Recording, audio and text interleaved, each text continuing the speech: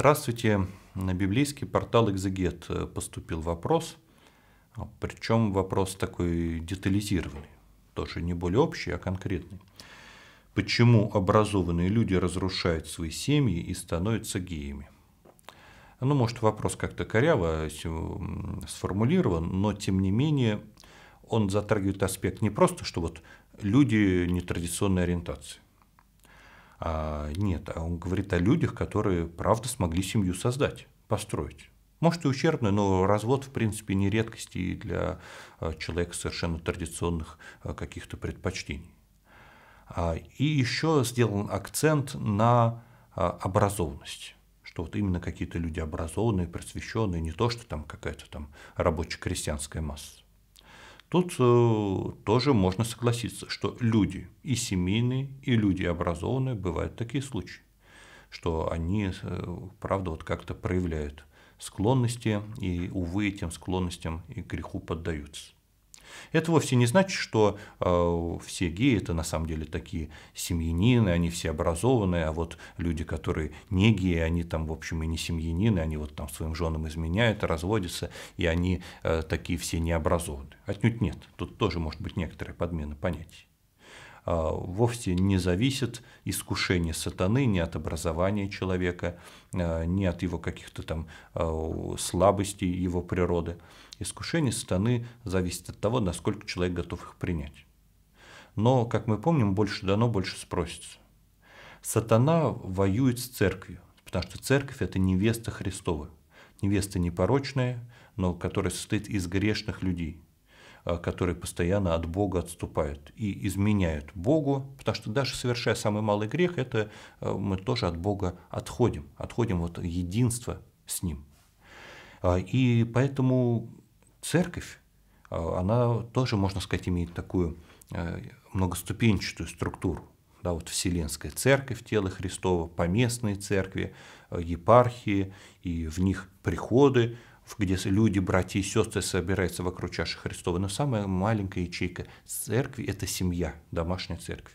И сатана всегда семьей будет э, враждовать и враждовать, ему абсолютно не важно, как он разрушит семью. Например, он будет семью, формально будет брак, но люди будут изменять. Или люди оба там традиционных предпочтений берут, разведутся и там уйдут к любовнице, второй брак создадут, его разрушат и так далее. Неважно. То есть тут он действует, ему все равно, что там есть у человека нетрадиционные предпочтения. Но в том числе он атакует также и э, людей, которые, увы, имеют некоторые слабости в отношении ориентации. А это не значит, что эти люди плохие. Наоборот, человек, который... У всех есть различные слабые стороны характера. Господь нам дает где-то в чем-то больше и больше спрашивает, а где-то дает меньше и меньше спрашивает. А если у человека он вспыльчивый, раздражительный, а, и он гневается и как-то гневом кого-то своим оскорбляет, это одно дело. А если человек хладнокровный, специально берет и там расчетливо человек оскорбляет, совсем другой спрос будет, потому что ты не гневлив. Чего ж ты взялся другого унижать, оскорблять, как-то задевать. А, точно так же и там человеку, если у него э, бывает склонность э, там, к лептомании, понятно, он дело все тащит но э, тоже это его может и оправдать. И, конечно, даже клептоману не нужно сказать, ой, я клептоман, я могу, могу все набирать. Нет, конечно, человек должен даже со своими греховными склонностями бороться. И гей, который смог, имея какие-то предпочтения, сбои своей, социальной, своей сексуальной ориентации, создать семью, ему надо просто поставить нерукотворный памятник, потому что человек смог победить свою страсть, смог создать домашнюю церковь. Причем тут даже речь не о верующих, неверующих людях, но, по крайней мере, все равно вот он смог пойти по пути своего счастья. А сатана его все равно подловил и сломал. А, и тут аспект тоже, который затронут в вопросе, а вот что это человек именно образованный. А вот тут как раз и сложнее.